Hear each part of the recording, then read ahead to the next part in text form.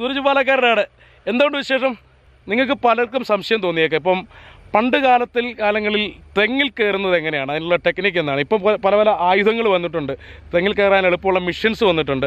പക്ഷേ തെങ്ങിൽ കയറാൻ എളുപ്പമുള്ള രീതി അവലംബിക്കുകയാണ് പ്രിയങ്കരനായ പേരെന്താണ്? എന്റെ പേര് ജോയി. ജോയ് ചേട്ടൻ. ഇതാണ് നമ്മുടെ ജോയ് ചേട്ടൻ. ജോയ് ചേട്ടന്റെ പരിപാടി കാണിച്ചു തരാം ജോയ് ചേട്ടൻ തെങ്ങിൽ കയറുന്നത് എങ്ങനെയാണെന്ന് കാണിച്ചു തരാം ജോയ് ചേട്ടാ ആദ്യം എന്താ ചെയ്യേണ്ടതെന്ന് പറ. അങ്ങോട്ട് അങ്ങോട്ട് നിന്നിട്ട് കാണിക്കാം.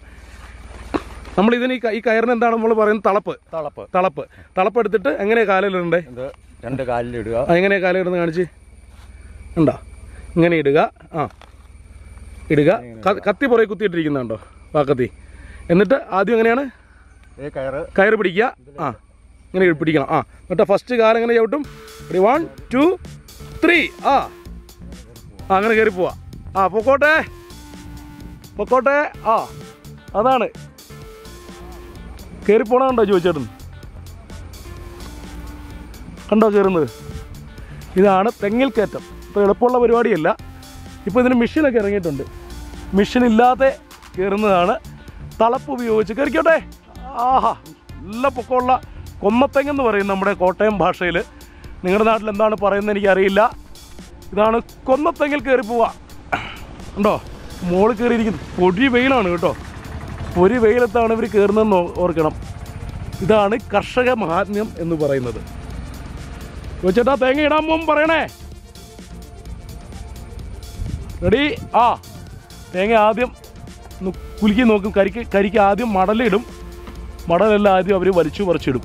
ഉണ്ടോ? മടൽ വെട്ടിയിടുന്നുണ്ടോ ഉണ്ടോ ഉണ്ടോ? മടലിട്ടു. ആ തേങ്ങ വീണു. അടുത്ത്. ഉണ്ടോ? ആ ഉണ്ടോ ചാടുന്നേ. മടൽ പറിച്ചിടുന്ന കണ്ടോണേ? ഉണ്ടോ മടൽ വെട്ടി അവരിടും. ഓക്കെ ആ. അധികം തേക്ക കിട്ടിയില്ല. ഇതാണ് ആരോഗ്യം എന്ന് പറയുന്നത്. നോക്കിയോ? ഇറങ്ങി വരുന്ന വരവ് കണ്ടോ?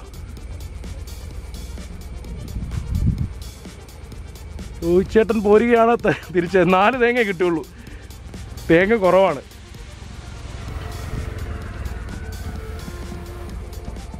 എടാ പട പടയാന്ന് ഇറങ്ങി വരുന്നത് ജോയിച്ചേട്ടൻ ഒന്നുകൂടെ കാണിച്ചു തരാം കേട്ടോ.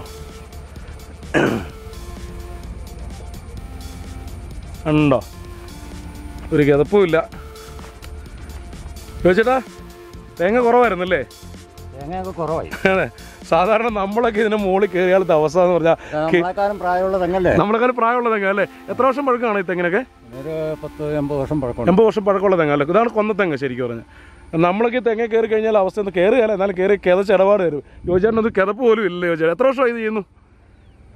വർഷമായി കുഴപ്പമില്ല. സന്തോഷമാണ്. സന്തോഷം. ഓക്കെ. ഓക്കെ. അപ്പോൾ ഓക്കെ. ജോയിച്ചേട്ടനോടൊപ്പം സൂരജ് പാലക്കാരൻ.